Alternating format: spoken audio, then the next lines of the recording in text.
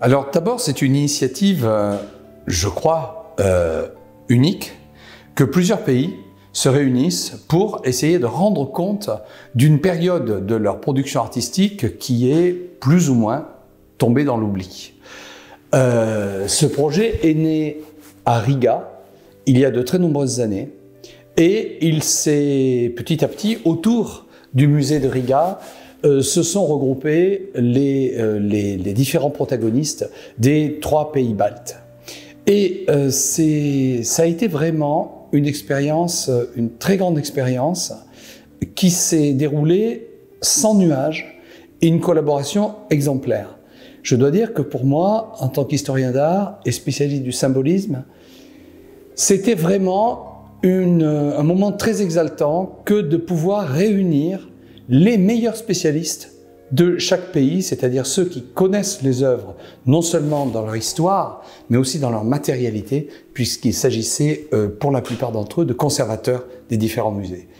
Euh, je crois qu'on peut dire aujourd'hui que le projet a réussi, dans la mesure où cette terra incognita qu'étaient les pays baltes dans le champ du symbolisme, eh bien, n'est plus tout à fait une terra incognita, puisque nous avons un document qui permet de rendre compte de cette exposition, le catalogue dans, les différentes langues, et surtout, puisque cette exposition a été vue par un très grand nombre de personnes euh, au musée d'Orsay à Paris. Cette exposition a été l'occasion donc de euh, démarrer une coopération entre les différents conservateurs euh, des pays baltes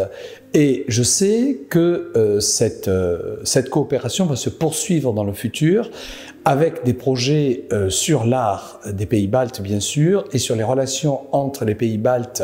et l'art des autres parties de l'Europe et du monde. Et donc, je suis très très heureux que cette exposition soit le premier jalon jalon important d'une coopération qui va s'inscrire dans le futur. Et je voudrais à cette occasion remercier les euh, directeurs des différents musées euh, de m'avoir confié le commissariat général de cette exposition sur le symbolisme. Et j'espère euh, revenir bientôt dans le cadre du colloque qui sera organisé vers la fin de cette exposition à Riga, qui est une ville que j'adore.